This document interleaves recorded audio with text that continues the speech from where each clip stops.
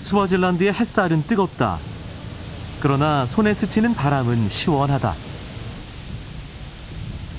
시원한 바람을 따라 도착한 곳은 밀완의 야생 동물 보호 구역.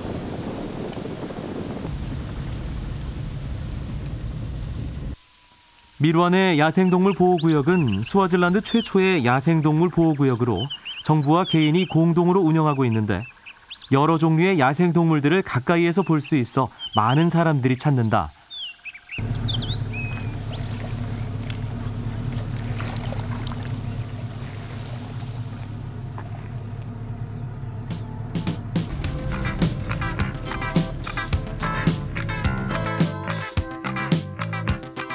주말이면 관광객은 물론 현지인들로 공원의 캠핑장은 붐빈다.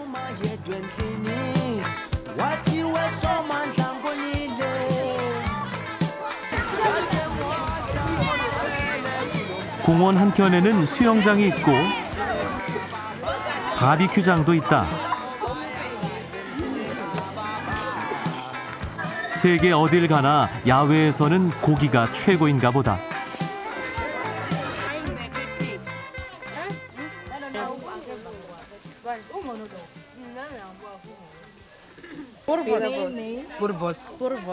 Beef. Yeah, porvos. made of beef. 소고기로 만든 보르보스 소시지와 훈제 닭고기. 보기만 해도 군침이 돈다. 이곳의 동물들은 사람을 경계하지 않는다. 사나운 멧돼지와 뿔 달린 사냥도 사람 곁을 떠나지 않는다.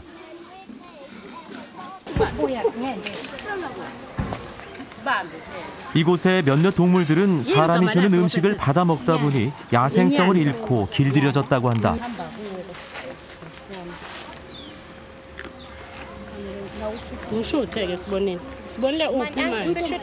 wakho.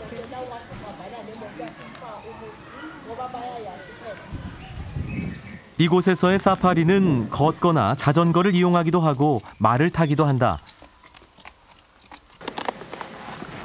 나도 말을 타고 사파리를 하기로 했다. Uh, the horse name is Rafiki.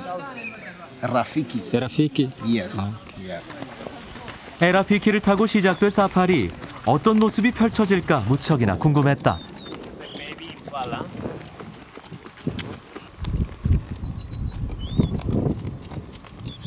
얼마 가지 않아 임팔라와 그늘 밑에서 쉬고 있는 얼룩말을 볼 수 있었다.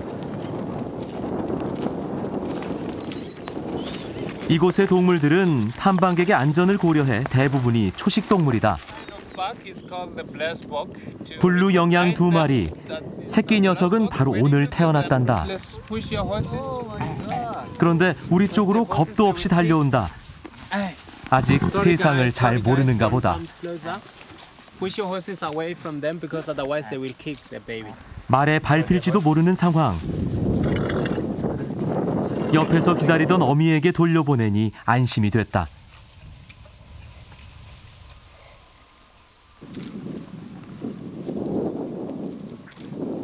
사파리를 하다 보면 자전거 트레킹을 하는 사람들을 종종 만나게 되는데 대부분 유럽에서 온 여행객들이다.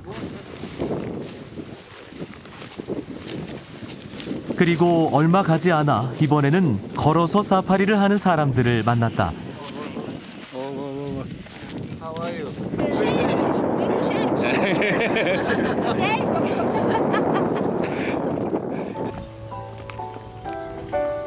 걸어서 사파리를 하면 자연과 호흡하며 생물들을 더 가까이 하나하나 세심히 관찰할 수 있어 좋다고 한다. 여행객들은 눈으로 보고 사진으로 추억을 담는다.